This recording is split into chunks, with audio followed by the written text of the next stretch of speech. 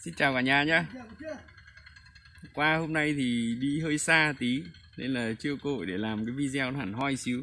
Nay bảo về nhà mới làm, nhưng mà sợ về nhà lại muộn quá. Thì hôm nay đang ở trong cái danh trại bộ đội.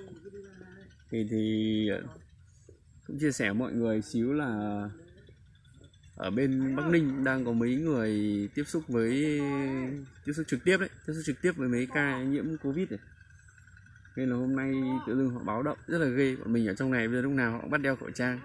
Nên thôi, lại được tranh thủ. Họ vừa bị kiểm tra xong, đang rất rất là căng.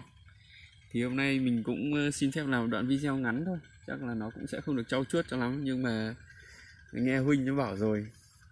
Ừ, thôi gọi là có còn hoàn thành còn hơn là hoàn hảo. Nên là anh em chiến thôi.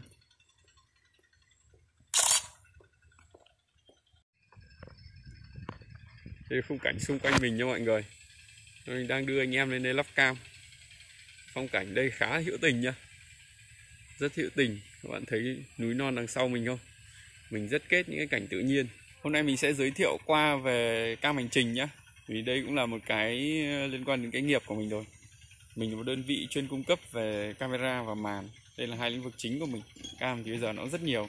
Nhưng hôm nay mình sẽ đi vào một khía cạnh. Đấy là những cái lưu ý những cái lưu ý đặc biệt khi mà các bạn sử dụng con cam hành trình. Các bạn cần lưu ý những cái gì để cho đảm bảo một con cam hành trình nó hoạt động được ổn định? Mục đích chính của mình là mình sẽ nói về các cái lỗi. Các cái lỗi cần phải đặc biệt lưu ý khi mà các bạn sử dụng một con camera hành trình.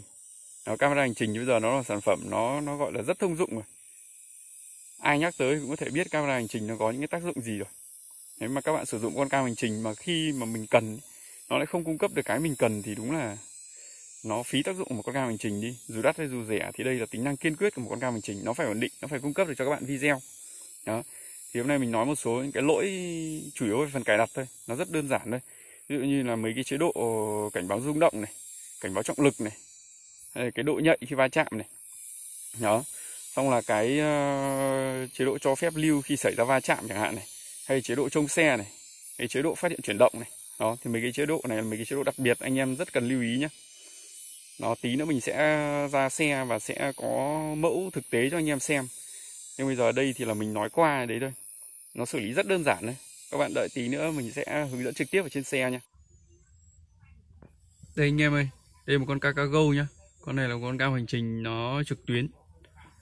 Đó, tức là nó có thể xem được từ xa đấy. Ghi hình hai mắt nhá. Thì đây mình đang tiện nó có trên xe thì mình lấy làm ví dụ minh họa cho anh em dễ hình dung luôn đó, mấy yếu tố mình nói đó mấy chế độ cảnh báo này. Đấy như con này thì nó có kích hoạt tính năng thức dậy khi va chạm này. Đó. Đấy thì ở dưới nó có chú thích là chụp và lưu hình ảnh vào thẻ nhớ. Đây nó còn tiếng việt anh em nhé thì anh em cũng có thể là dễ hình dung. Đấy khi mà anh em gặp một con cam nó có mấy cái chế độ như này như như này thì anh em để ý này. Như cho phép video bị khóa kìa. Dưới nó cũng chú thích là video va chạm nó sẽ lưu vào thư mục khóa đặc biệt. Đó. Nó rất là rõ ràng nhé đấy. Và đây nó có hai cái ô để anh em mình tích này. Đấy, các bạn thấy không?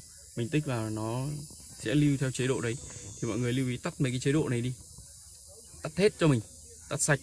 Còn như cái độ nhạy va chạm phía trước kìa, độ nhạy va chạm kìa, thì là mình đang để nó không có chỗ tắt. Nó chỉ có thấp, cao và trung bình nữa thì mình đang đặt nó là ở cái mức thấp nhất nha mọi người nhé đó, thấp nhất nhé đấy, thì mọi người lưu ý mọi người mà không để mấy cái chế độ này ví dụ như mọi người để cao hoặc là mở mấy cái tính năng thức dậy khi va chạm kìa, thì khi mà mọi người đi vào những cái chỗ sóc, nó chỉ cần ổ trâu, ổ voi, đi đường, nó có cái gờ thôi, nó cũng lưu rồi anh em thế là vô hình chung là nó lưu vào thẻ nhớ, thì cái thẻ nhớ nó lại không, con cam nó không xử lý những cái video lưu đặc biệt này ở trong thẻ nhớ. Thế nó cứ đầy lên đầy lên đầy lên, thì cái thẻ đầy nó không còn không gian để lưu trữ nữa thì là con cam nó lại cứ nhồi, nó bắt con thẻ phải xử lý những cái video đấy. Thế là vô hình dung đầu tiên là con thẻ toi. Con thẻ toi, nếu anh em không format thì chắc chắn nó toi rồi. Đó. Thì cứ để như thế một thời gian ức chế là dẫn đến là con cam nó sẽ treo theo con thẻ luôn. Thế là cuối cùng là đi cả cam, đi cả thẻ. Đấy. Thì cái này anh em có một cách xử lý. Nếu như mà anh em không biết cài đặt này thì có một cách rất đơn giản thôi. Đấy là anh em format format cam liên tục mà em cũng khuyên là anh em lâu lâu lên format nhá. Đấy cái này nó là định dạng thẻ nhớ này. Anh em lâu lâu vào format nó cái format đi là ok thôi. Đấy còn anh em nào nếu như mà chuyên anh em qua video này có thể biết rồi thì mọi người để ý hộ mình mấy cái chế độ này thôi. Đấy mấy cái chế độ này. Đấy mọi người xử lý ở đây nó triệt để luôn. Những cái này thực ra nó rất đơn giản nhưng nhiều anh em không để ý thì anh em sẽ dẫn tới là sử dụng con cam hành trình. Nhưng mà lúc ừ, cần đến video cần đến cái bằng chứng ấy, thì lại chả thấy nó đâu à? cả đây là mọi người lưu ý cái này hộ mình nhé đó. Cảm ơn cả nhà nhé nếu các bạn thấy nó hữu ích thì không quên ủng hộ kênh giúp mình nha mình cảm ơn. Xin chào các bạn.